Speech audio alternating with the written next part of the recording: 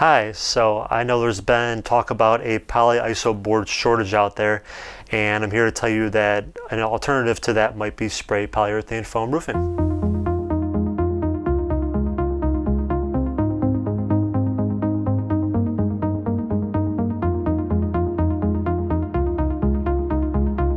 Hi, my name is Greg Pally. I'm with West Roofing Systems and welcome to another edition of Whiteboard Roofing.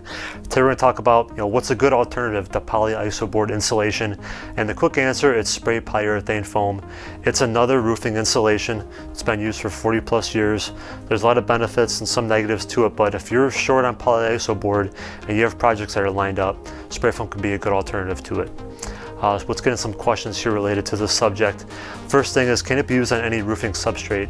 Uh, yes, spray foam can be sprayed on metal, TPO, EPDM, uh, built-up roofing, modified ones. It could be used on any roofing substrate or deck.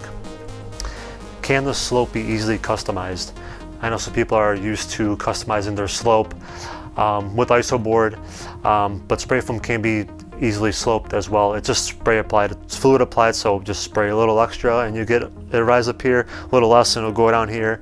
It's pretty simple, so yes, the slope can be easily customized uh, with spray foam, as opposed to a tapered one, which I know is harder and more expensive kind of do than, than foam. Uh, spray foam, a good benefit is that it has cell, closed cell properties. So when a cut or a puncture happens on a foam roof, water will just sit in a cut and just sit there. It won't keep going down. It won't be saturated. It won't go down to your building or to your deck at all. Um, this is opposed to um, isoboard, which if it gets a puncture or a crack in it, you know, water gets in there and it keeps saturating lower and lower. It'll go vertical, it'll spread horizontal, and it'll saturate a decent portion of your roofing system. So if you're hesitant on using foam at all, uh, one good positive it has is that it has closed cell uh, insulation. Um, R value. R value for ISO board is around 5.5 per inch of thickness. Spray foam is about 6.5 per inch of thickness.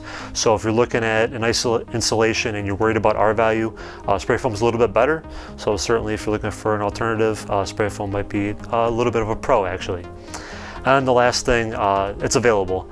Uh, board is no good if it's not available.